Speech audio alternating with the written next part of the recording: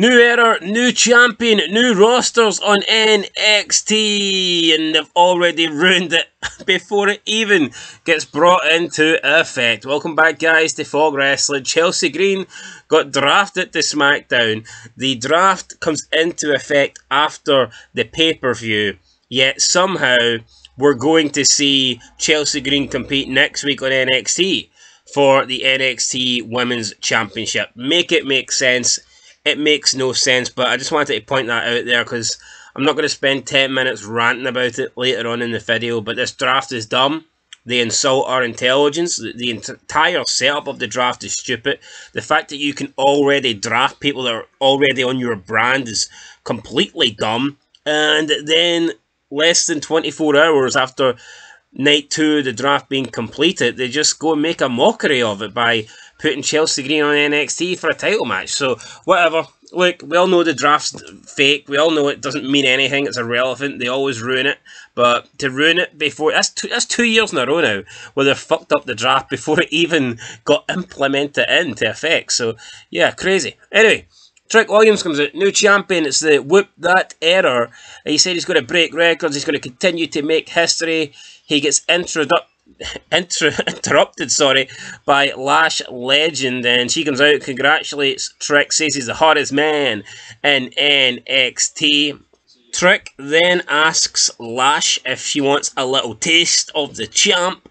And that's not very PG, as R-Truth would say, but Lash Legend kind of calms him down a little bit because he isn't her little Reese's cup, at least not yet. Lash Legend says she doesn't like Reese's cups. She's more of a Kit Kat chocolate bar kind of girl, and um, I don't really know what we're doing here. But Trick Williams is like, "Well, let me break you off then." What am I? What I'm going to say is, and then she just kind of like interrupted him, and there was an envelope here, and essentially there is something important in the envelope. But Trick Williams wants it, then he's going to have to appear on Meta-Four next week on the on that you know four way goofball TV segment. I don't know, whatever. Noam Dar, who cares? Uh, look, I don't mind this, but I mean, come on. Should Trick Williams and Lash Legend really be opening up the show? Lash said next week things are going to get really, really hot. So I'm assuming that Noam Dar wants a shot at the title. Uh, I'm assuming that's what's in the envelope. Uh, then Arianna Grace took Gigi Dolan out for dinner. And it was kind of cool because Arianna Grace is explaining to her how to eat properly, about dress code, uh, mannerisms, behaviour. And uh, Gigi started running down the card and uh, she was using lots, lots of like puns and metaphors and stuff like that with cutlery and food and temper and She's also burping as well uh, after taking a big glass of fizzy water, which which made Arianna Grace be absolutely appalled by. But yeah, whatever. So that that was okay. Decent way to run down the show. Obafemi versus Ivar for the NXT North American Championship. Just two big guys going at it for the belt. I mean, we all knew Obafemi was going to win. Obafemi does win, and then after the match, we get Wes Lee. He is back, and he wants his title. So, yeah, we got that. We got a vignette for two new guys as well. Uh, Fallon Henley didn't want to come out tonight for the match with uh, Thea Hale. She's disappointed not to be drafted, but Hale convinces her to go go ahead with the match, really. She comes out to accompany her. It's Jacy Jayne versus Thea Hale. Chase University, Fallon Henley at ringside, Jazmyn Nyx at ringside. Jacy Jayne got her nose busted open or her mouth busted open. Something was busted open. Lots of blood here in this match. Uh, Thea Hale wins, and then Fallon Henley attacks her from behind. So I don't know why Fallon Henley did that, but it's another person, I guess, that is doesn't like Thea Hale. And then we've seen Thea Hale backstage asking, why always me? Why is everybody betraying me? Why is everybody turning on me? We got the Good Brothers then taking on this new tag team making their debut, and the Good Brothers win. So why are the Good Brothers... I just don't get it. Why the fuck are the Good Brothers beating this new tag team? Doesn't make any sense to me. I mean, you've got the Good Brothers that haven't won a match in God knows how long, but let's send them to NXT so they can inflict a defeat on this team making their debut. look, I'm not saying you have to win your debut, right? John Cena didn't win his debut, but he lost to Kurt freaking Angle. I mean, these two new guys have lost to the Jobbers, the Good Brothers, so uh, what is it? Where's your career going when you're losing your first match against two bums? So, I mean, I, I don't really get that. Um, after this, we had the Street Profits backstage with Axiom and Nathan Frazer. Didn't do much for me. Uh, then we got an Ava Raine segment. I mean, she is by far the worst. I think she's all, she's almost as bad as Tony Khan. Ava Raine fucking sucks. She announced that there's going to be the Women's North American Championship. Said that the female roster is going to compete in a combine. I've no idea what a combine is, but the 12 superstars that impress the most will have six qualifying matches to qualify for this ladder match that will determine the new NXT North American Women's Champion. There you go. Uh, Jaida Parker came out, Sol Ruca came out, uh, Arianna Grace came out. You know, Jaida Parker does seem like she's got charisma. She's definitely got something here, so I think there's potential with Jaida Parker.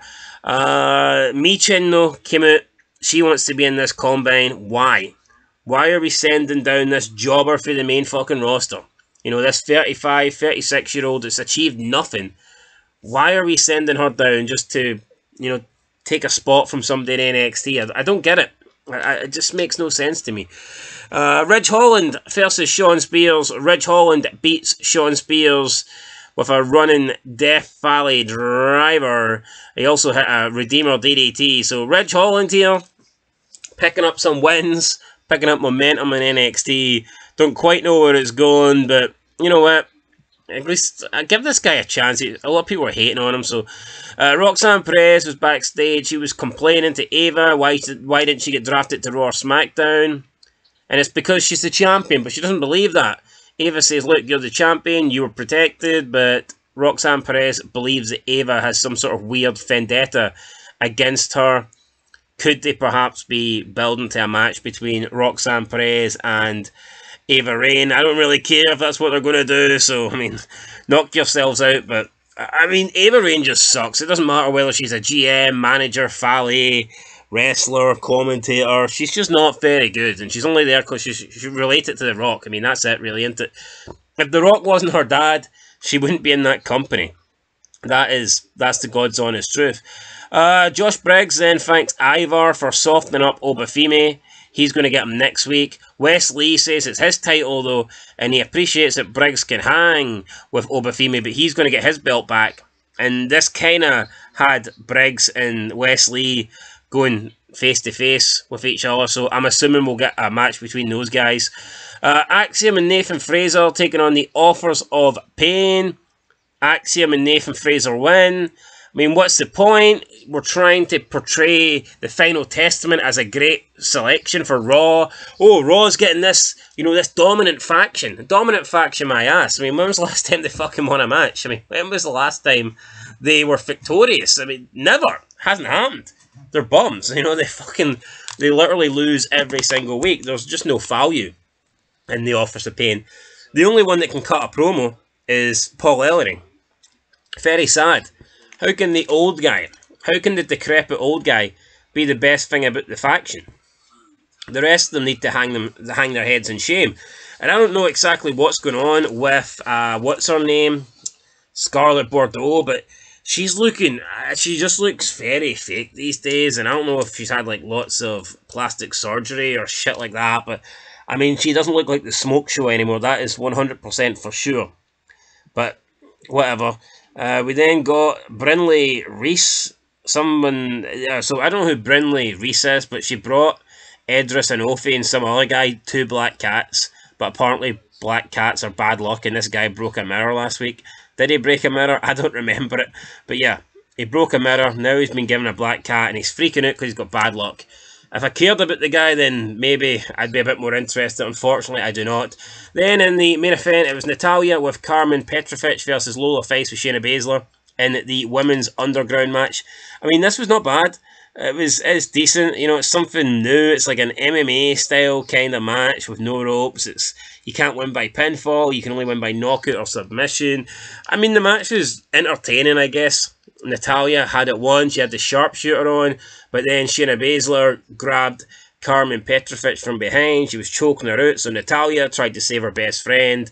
She did save her friend, but then she got back in the ring. She ate an elbow from Lola Vice, and then Lola Vice came just raining down with punches on Natalya. The referee called it off. TKO, I guess. Technical knockout. Natalya unable to continue. Lola Vice wins. Does a little wee dance, shaking her ass, and that's it. Lola Vice is victorious. Then we go to the back, and Roxanne Perez is still annoyed why she's still here. What does Ava Raine want with her?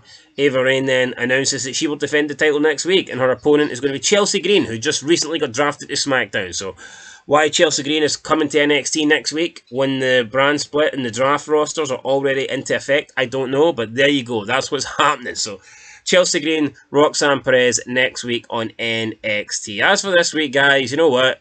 Um, yeah, the I thought the Thea Hale Jacy Jayne match was okay. The the turn was not bad. The wee dinner segment was fine. Uh, Trick Williams was okay. We had the the main event. I thought was decent as well.